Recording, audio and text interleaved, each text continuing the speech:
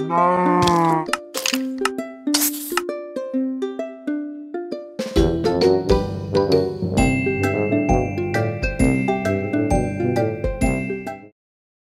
how you doing, buddy? I didn't mean to leave you for that long. I'm so sorry. Um, wow.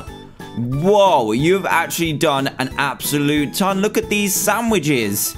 What is going on in the middle of that one? That looks incredible. Is that like a, that hot dog in the middle? That looks incredible. Trust. Did you do this all yourself? Ah. Well, good job, buddy. Tonight's party is absolutely going to be amazing. We've got the best food out there. We've got we've got chicken, we've got steak, we've got the best sandwiches I've ever seen in my life.